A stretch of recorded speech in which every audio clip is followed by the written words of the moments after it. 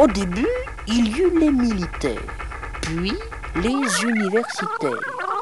Pas de problème d'argent, l'armée et l'université payaient le téléphone. Le temps non plus n'était pas compté.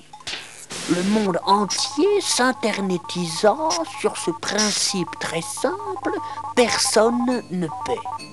Un principe aussi génial ne devait pas tarder à attirer même des personnes normales. Des personnes tellement normales qu'elles comprenaient qu'il fallait payer pour que ce soit gratuit. Plus elles payaient et plus c'était gratuit. Plus c'était gratuit et plus il y avait de monde sur le net. Donc, plus elles étaient perdues. Plus elles passaient de temps et plus l'heure passée était gratuite.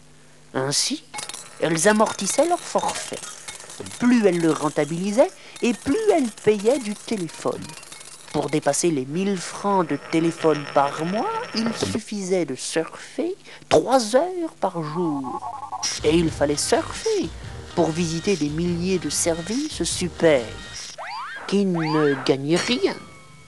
Mais ces services qui ne gagnaient rien ne coûtaient pas cher. Chacun pouvait créer son service. Et chaque service avait des chances d'être visité par les surfeurs. Surfeurs qui avaient plus de plaisir à trouver ce qu'ils ne cherchaient pas qu'à chercher ce qu'ils ne trouveraient pas non plus.